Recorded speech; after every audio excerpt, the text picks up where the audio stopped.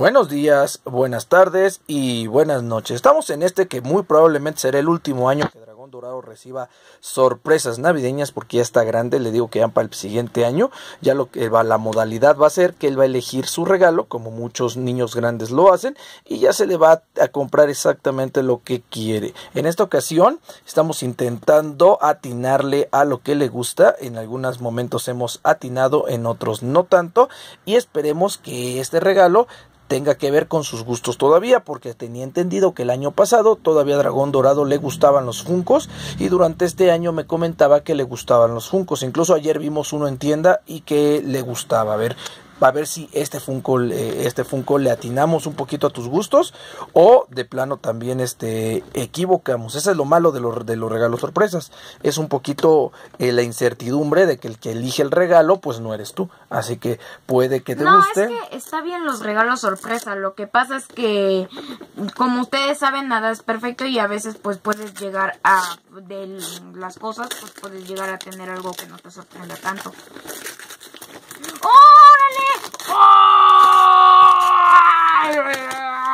Es un Scarlet Witch de Marvel Zombies justo para completar mi colección. Muchas gracias. Wow, es perfecto.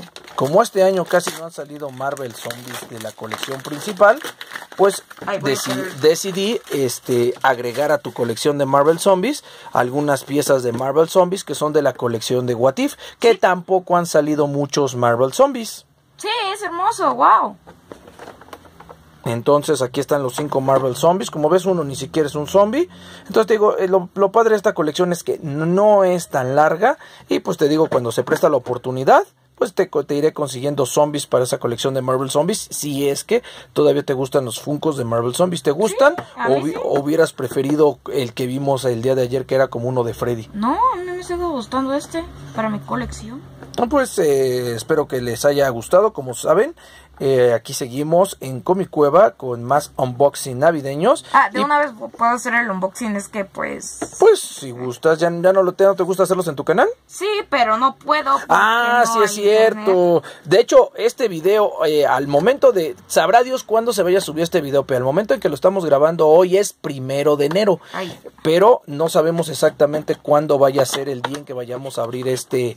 hacer el unboxing tampoco... Eh, o sea, si ustedes están viendo el unboxing de esto hasta el 6 de enero, 7 de enero, 8 de enero, es porque hoy por hoy en Cuautitlán Izcalli no tenemos, tenemos internet alámbrico, pero han estado mal las líneas de comunicación y no tenemos internet wifi. ¿Qué te parece? ¿Ya viste? Está eh, épico. Es Bubblehead. ¿Todos tus Marvel Legends son Bubblehead o hay unos que no lo sean? En mis Marvel Zombies. Tus Marvel Zombies de Funko. Todos, todos, todos, absolutamente todos son Bubblehead. Todos son Bubblehead. Hasta esta colección me sorprende también es Bubblehead. Que además aquí hay un, hay un punto en donde sí hay que tener mucho cuidado que es con la base. La base, porque luego estas bases se han resultados un poquito... Bueno, de todos modos yo lo quiero más que para jugar para la colección. De tu colección de Marvel Zombies. ¿Qué te parece esta Scarlet Witch de Marvel Zombies? ¿Te gusta? Eh, sí, está genial. ¿Te siguen, ¿Te siguen gustando los Marvel Zombies? Pues sí, desde...